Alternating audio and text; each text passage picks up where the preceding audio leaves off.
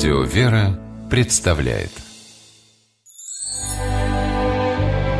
Светлый вечер. На Радио «Вера» Тема недели.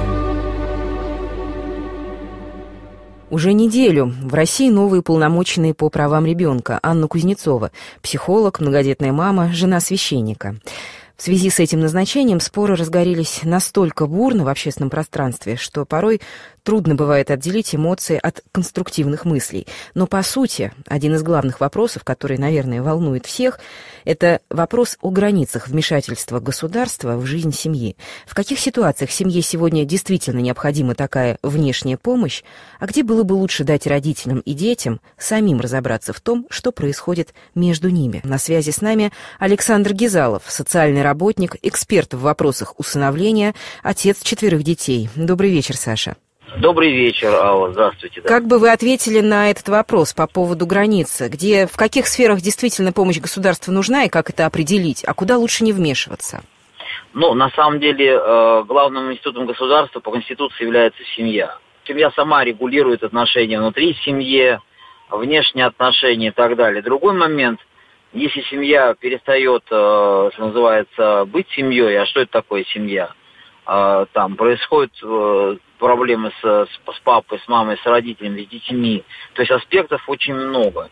И здесь очень важно, так скажем, проводником получения информации о трудностях в семье были люди, которым делегированы полномочия от государства или от общества. Это социальный работник, да, который может заказать услуги, э, необходимые для семьи, если семье это необходимо. То есть самой семье вчинять что-либо крайне сложно, потому что семья, она все-таки саморегулирующая. Есть бабушки, дедушки, тетеньки, дяденьки и так далее. А что делает социальный работник? Он доверительное лицо, он доверитель. Он, э, у нас, к сожалению, об этом мало чего говорят – и у нас нет такого понятия, как семейный психолог, семейный э, врач, семейный э, клинический психолог и так далее. Соответственно, для того, чтобы эти услуги семья могла заказать, она должна не бояться заказать эти услуги у государства или общественной организации. Вот эта вилка, у кого заказать услуги, должна быть на уровне конкуренции. Сегодня конкуренции это практически нет, потому что все завязано на государственных услугах. А так как услуги государственные, они достаточно топорные – восприятие сотрудников органов опеки, чиновников там и так далее могут быть разные, то есть на глазок. Чтобы этого глазка не было, соответственно, эта услуга должна исходить из потребностей семьи, которые ей необходимы, а не из тех, которые навязываются. Это не только э, материальная поддержка, это не только э, материнский капитал. Аспектов очень много. Это и образование, это и медицина, это и э, безопасность и так далее. Вот здесь во главе угла должен быть вот этот вот социальный запрос. Если родитель потерял работу, помочь ему, значит, с переквалификацией и так далее. То есть работать в точке, э, которая приводит либо к кризису семьи, либо, наоборот, к ее подъему. Помощь должна оказываться до тех пор, пока семья значит, э, не встанет на ноги, что называется. Да? А у нас часто нет помощи не для того, чтобы она встала на ноги, не для того, чтобы она упала. Потому что у нас, как вы знаете, порядка 70 тысяч детей находятся в детских домах, потому что с родителями они не совсем правильно и точно поработали. Поэтому срез очень широкий. Те, э, значит, болевые зоны, которые семья не может закрыть ни обществом, ни бабушками, ни дедушками, должно представлять государство. Это и путевки, это и материальная поддержка и так далее. То есть аспекты при которых э, семья будет чувствовать, что она в заботе и со стороны государства, и со стороны общества. Саш, вы знаете, я да, слушаю вас, и у меня, да, и у меня создается ощущение, что применительно к нашей сегодняшней ситуации вы говорите о жизни, не знаю, на какой-то другой планете. Это правильно, потому что у нас сегодня, к сожалению, семья не находится в приоритете заботы. У нас сегодня даже есть такой стандарт, это ребенок, находящийся в трудной жизненной ситуации.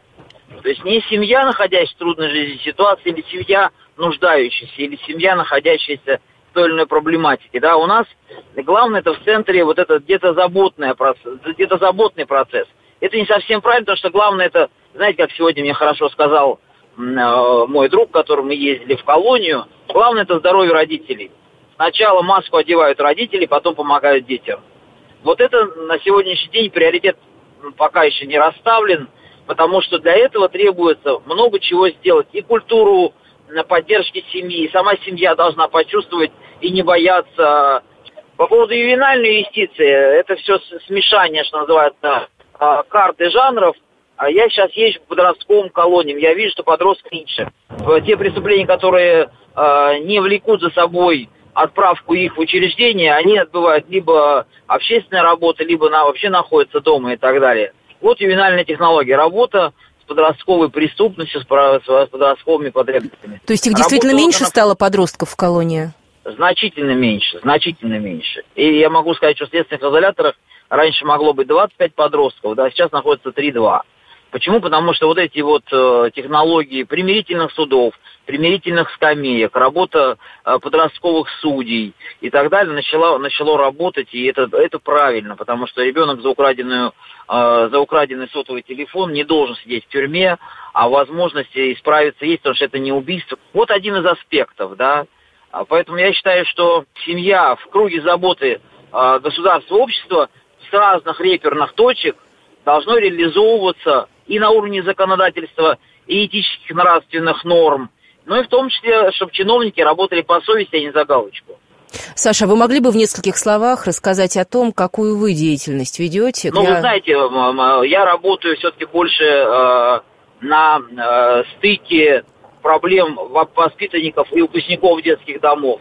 Хотя, конечно бы, хотелось бы не заниматься этой темой, чтобы детских домов не было, а дети уходили в семьи. Но пока сегодня общество настолько нездорово, что у нас дети оказываются и в, в детских домах, и в Цвинпах. Я езжу в Цвинпы, центр временной изоляции подростков. Например, в городе Владимире в год это бывает до 200 подростков. Учитывая, что есть дети с ограниченными возможностями, с психическим здоровьем, психическими задержками и так далее. Вот на стыке э, проблем общества и государства, где вне заботы семьи и общества оказываются дети. Саша, а как лично вы относились к усыновлению, возможности усыновления наших детей за границу? Когда такая и возможность знаете, была? Я вам скажу так. Я скажу так. Закон Димы Яковлева, он не релевантен тем, тем а, значит, санкциям, против которых нас применены. Потому что против нас применены экономические санкции, а мы применили где-то экономические санкции. Я считаю, что надо было все-таки поработать и с законодательством, и с, э, с органами опеки, и с учреждениями и так далее, то есть провести эту работу. А так получилось, что на неподготовленную почву мы сделали вот такой вот, знаете, закрыли занавес, при котором не, некоторое количество детей остались в России и так и никуда не уехали, в том числе и погибли. Пока не будет э, отстроена эта работа, вот эти бравурные заявления а-ля патриотические, это совершенно безграмотное заявление, потому что установление у нас падает. У нас э, в основном растет приемно-родительские отношения, приемная опека там и так далее.